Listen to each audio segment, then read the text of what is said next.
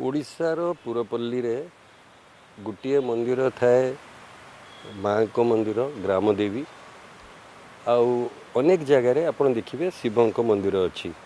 ଶିବଙ୍କ ମନ୍ଦିରରେ ଯେଉଁମାନେ ଓଡ଼ିଆ ଯେଉଁମାନେ ଏ ମାଟିରେ ଜନ୍ମ ଯେଉଁମାନଙ୍କର ମାତୃଭାଷା ଓଡ଼ିଆ ଏବଂ ହିନ୍ଦୁସ୍ତାନୀ ନୁହଁ ହିନ୍ଦୀ କଥା କହନ୍ତିନି କି ଅନ୍ୟ ଭାଷା କହନ୍ତିନି ସେମାନେ ସମସ୍ତେ ଯେତେବେଳେ ତାଙ୍କର ହେତୁ ଆସେ ଜାଣନ୍ତି ଯେ ଶିବଙ୍କ ପାଖରେ ଗଞ୍ଜେଇ ଗୋଟେ ପ୍ରସାଦ ଭାବରେ ଚଢ଼ାଯାଏ।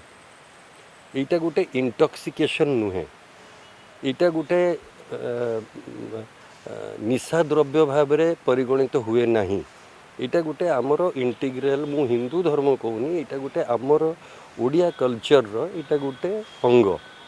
ସେଥିପାଇଁ କି ଯେଉଁମାନେ ଓଡ଼ିଶାର ଗ୍ରାମାଞ୍ଚଳରେ ରହନ୍ତି କି ଯେଉଁମାନେ ଗ୍ରାମାଞ୍ଚଳକୁ ଯାଇଛନ୍ତି ସେମାନେ ବି ଜାଣନ୍ତି ଯେ ଗୋଟେ ତ୍ରିନାଥ ମେଳା ସବୁ ସୋମବାର ଦିନ ରାତିରେ ଅଧିକାଂଶ ଗ୍ରାମରେ ହୁଏ ଏବଂ ତ୍ରିନାଥ ମେଳାରେ ଆମେ ବ୍ରହ୍ମା ବିଷ୍ଣୁ ମହେଶ୍ୱରଙ୍କୁ ପୂଜା କରୁ ଗାଁର ପୁରୁଖା ବ୍ୟକ୍ତି ବି ଆସନ୍ତି ରାଜନୈତିକ ନେତା ବି ଆସନ୍ତି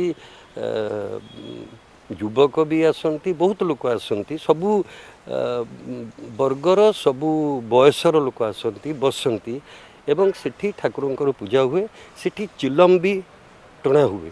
ଏଇଟା ଗୋଟେ ମୁଁ ଭାବୁଛି ଯେତେବେଳେ ସରକାର ରାସ୍ତା କଡ଼ରେ ହାଇୱେ କଡ଼ରେ ମଦ ଦୋକାନ ଖୋଲି ଦେଉଛନ୍ତି ଆଖି ବନ୍ଦ କରିକିରି ଏବଂ ମଦୁଆଙ୍କୁ ପ୍ରମୋଟ୍ କରୁଛନ୍ତି ଯେଉଁମାନେ କି ଆଣ୍ଟି ସୋସିଆଲ୍ ଆକ୍ଟିଭିଟି କରନ୍ତି ତା ସ୍ଥାନରେ ୟାକୁ ବ୍ୟାନ୍ କରିବେ ଯେଉଁଟା ଗୋଟେ ଆମର ସଂସ୍କୃତିର ଗୋଟେ ଅଙ୍ଗ ଏଇଟାକୁ ମୁଁ ଘୋରତର ଭାବରେ ବିରୋଧ କରୁଛି ଏବଂ ମୁଁ ଆଶା କରୁଛି ଯେ ଏଇଟାକୁ ଗୋଟେ ଓଡ଼ିଶାର କଲଚରଠୁ ଅଲଗା କରା ନଯାଉ ଏବଂ ଅଣ ଓଡ଼ିଆ ମାନସିକତା ଏଠି ପୁରେଇ ଦିଆ ନଯାଉ